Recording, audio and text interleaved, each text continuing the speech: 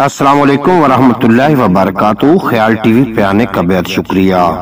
میں ہوں آپ کا دوست محمد علی خزر اور اس ویڈیو میں ہم بات کریں گے خواب میں فرعون دیکھنا، اس کی تعبیر کیا ہے۔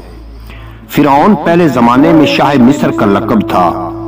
حضرت ابن سرین رحمت اللہ علیہ نے فرمایا ہے کہ اگر کوئی خواب میں دیکھے کہ پہلے فرعونوں میں سے ہے یا کوئی پہلا ظالم بادشاہ شہر میں آیا ہے اور اس نے اس شہر میں مقام کیا ہے تو دلیل ہے کہ فرعون ملون کی خصلت اس ملک میں ظاہر ہوگی۔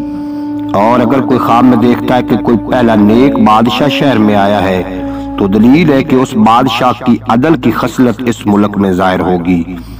حضرت جابر مغربی رحمت اللہ علیہ نے فرمایا ہے کہ اگر کوئی خواب میں دیکھے کہ فرعون نے اس کو بخشش دی ہے یا خلعت دی ہے، تو دلیل ہے کہ اسی قدر ظالم بادشاہ سے مال حاصل کرے گا۔ اور یا کسی بڑے آدمی سے مال حرام پائے گا۔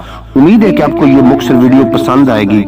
اگر ویڈیو پسند آئی ہو تو چینل کو سبسکرائب فرما کے بیل نوٹیفیکیشن کو پریس کرنا، لائک اور شیئر کرنا نہ بھولنا۔ ملتے ہیں اگلی ویڈیو میں۔ آپ کا اور میرا اللہ حافظ۔